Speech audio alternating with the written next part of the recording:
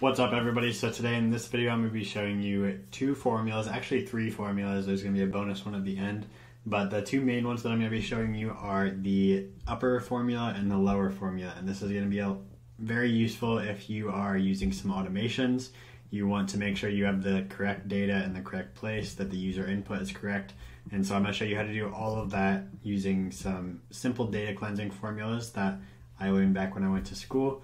So, and I'm going to show you those now. So if you haven't met me before, my name is Ben Green. I'm the owner of Optimize IS. And what we do is we help business owners, probably just like you, help them optimize their information systems. So in stuff like Airtable, Asana, Slack, as well as like Zapier and Integromat to really connect all of those systems together and make it work really well for you, the client.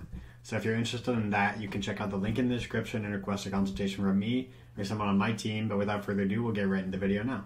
So here we have our Airtable base right here. And as you can see, there's some different types of data in here. So there's some, there's a formula here and you can see most all of these are proper and that is like proper would mean that like the first letter is capitalized of each word, but no other letters cap- capitalized in each word. And so you can see all of that. You can see there's a single line text, some linked fields, checkbox, and email. And the one that I really want to harp on is email because when you deal with people, the most common unique identifier that I think works really well is the email. And the reason why that is is because an email, like I have an email that is shared with nobody else.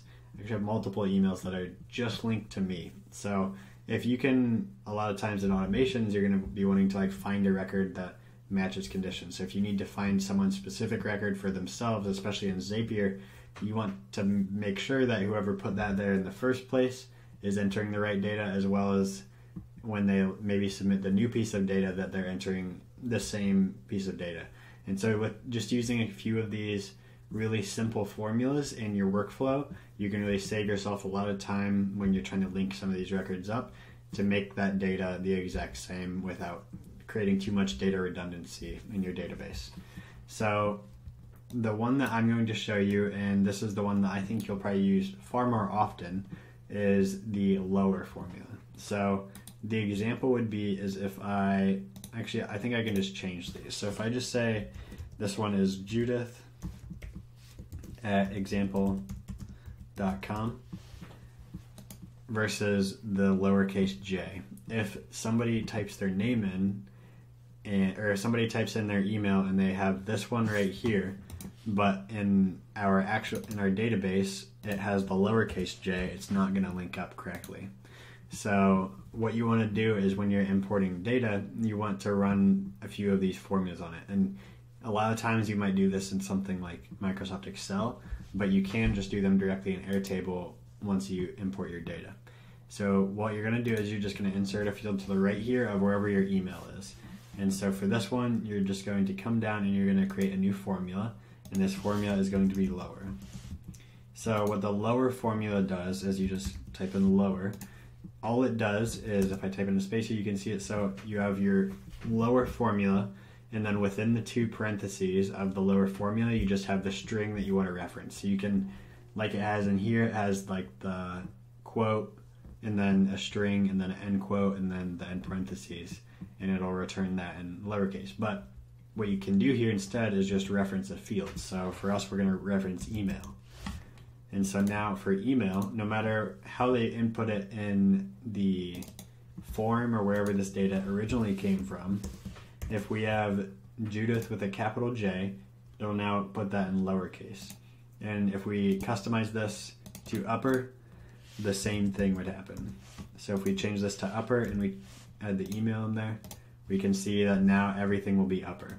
So whether you do it one way or the other doesn't particularly matter, but what you would want to make sure to have in here is probably the lower one so that when somebody enters their name, it's taking the lowercase version of that and trying to find the lowercase version of the one in your database. That way, you're going to have stuff link up just that many more times. Now, that's how to do the lower and the upper. The last formula that I want to mention in here is one that's really good for data cleansing, and it's something that you can just wrap that other formula in.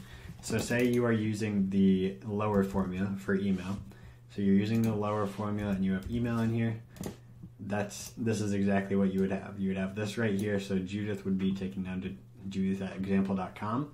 Well, one thing that you can do because sometimes, and this is a lot of times when you're trying to import data and stuff, it's it can be very hectic if people include like a even just a simple space after their email.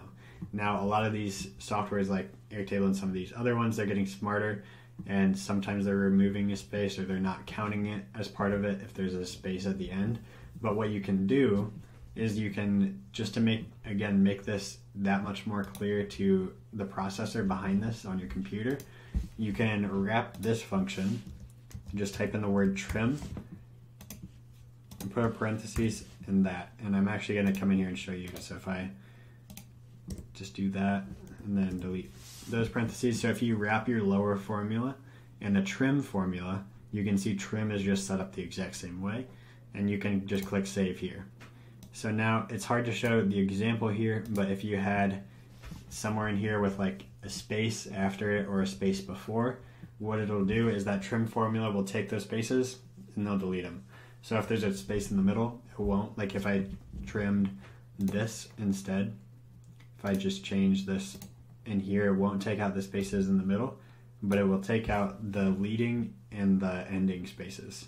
So if I type in name and organization here, it might make everything lowercase, but it won't take out the spaces in the middle.